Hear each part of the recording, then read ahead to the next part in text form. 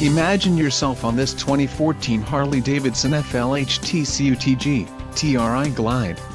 If you are looking for a great motorcycle, this one could be yours today.